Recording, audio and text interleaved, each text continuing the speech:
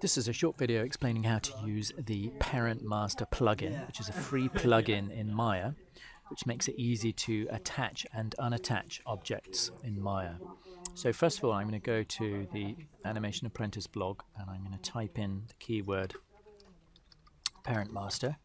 And that is going to pull up an old blog post, actually, on how to use it. You can see it's um, dated 2014, but the plugin still works really, really well. And I'm just going to show you how to um, uh, install it in your uh, 2019 copy of Maya. So what you want to do, the first thing you want to do is go and find the uh, plugin there. So we just go um, to follow the link, and that will take us to the official place to download it. And all you have to do is download it there from highend3d.com.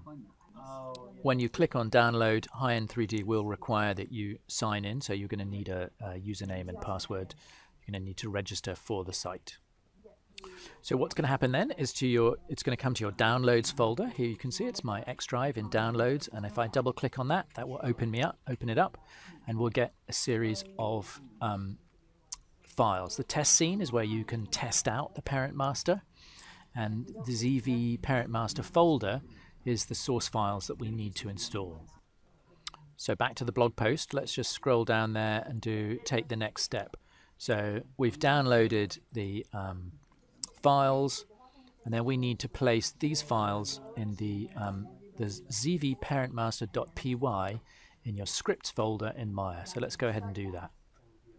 So I'm going to navigate to my scripts folder in Maya. So I'm going to go Maya Documents and then scroll down till I found my Maya folder. And then I'm going to open up scripts. And I may actually already have these. Um, yeah, I've actually already got them in there.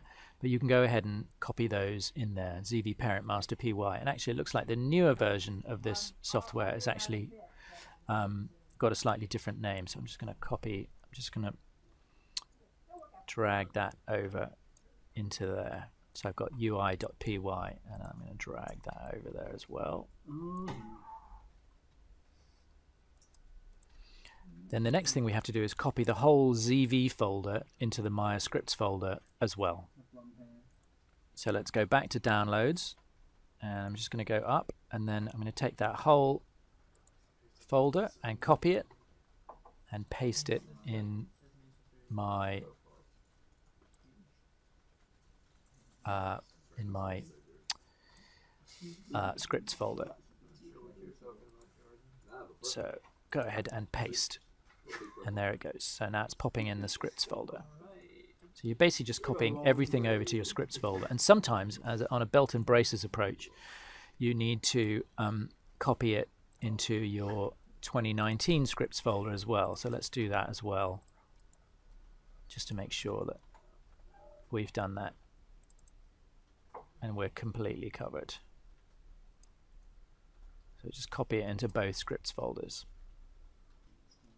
Now back to the blog post and we need to um, open up Maya, go to the script editor, go to the Python tab and copy and paste these two, row these two rows. So let's go copy and there's our um, scripts folder. So we want to be in the Python tab there we go. So I'm going to go edit. Yeah. Isn't that working? So I'm going to go Control V in the Python tab. Control V, there we go, and that pastes it down there. And then I can turn this into a shelf. I'm in my animation tab. You can see I've already got two little um, plugins up there. And I'm just going to middle mouse drag that up to there you see that little plus sign appear and that will now appear as a Python tab.